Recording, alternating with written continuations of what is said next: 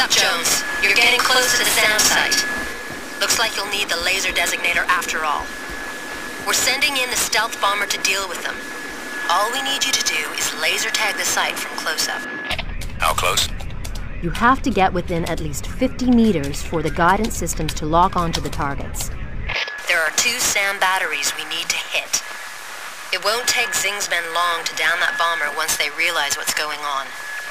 Once the first battery is neutralized, move immediately to the second. You only have a few minutes. Expect heavy resistance on the way.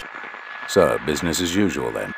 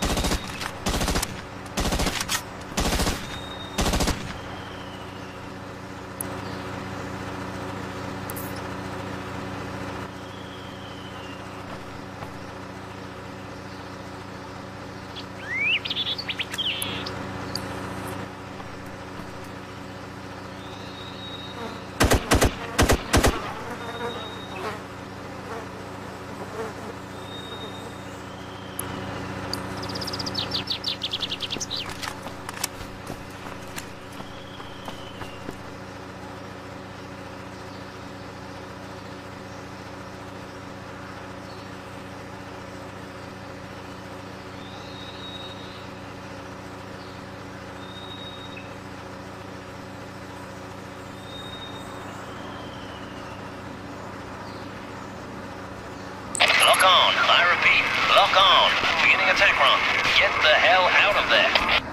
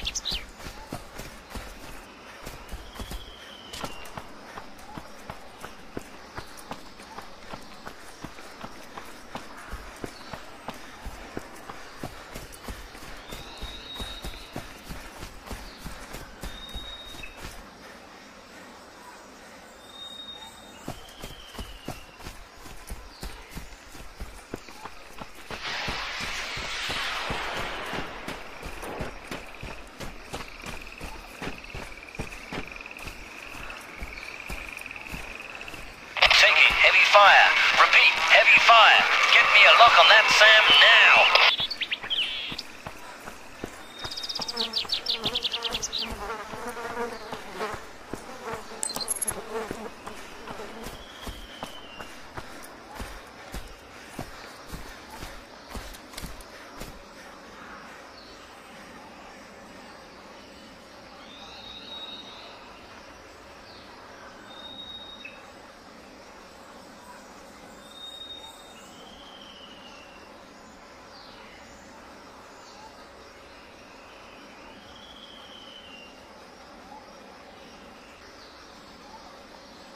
Lock on. I repeat, lock on.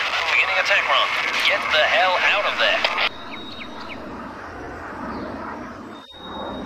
Nice work. There's an airdrop up ahead. Get over to it. The area's still covered, so watch your step.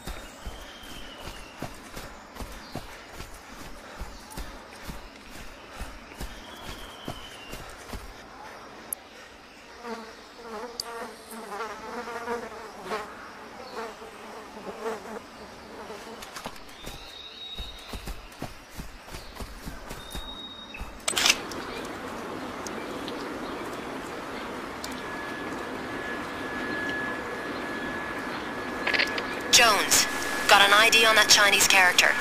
Looks like we finally got a break. You took a snapshot of one of China's most powerful men, General Wu Xing, veteran power broker of the Chinese Politburo, spy master, and one-time personal friend of Chairman Mao. No wonder this operation is so hush-hush. What does a guy like that want with the EMP chips? The general must be working on his own, or he would be protected by half the Chinese army. Then what am I fighting? Farmers?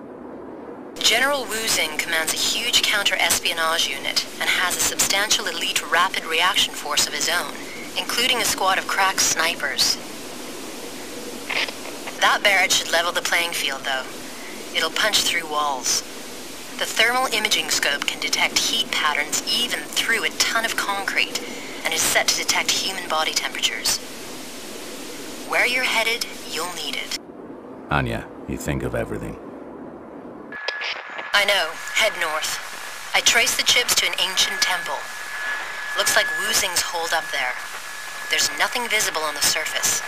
He must be underground. There's a micro-transmitter in the crate you just recovered. That will let us patch into their comms network and keep in touch when you're underground.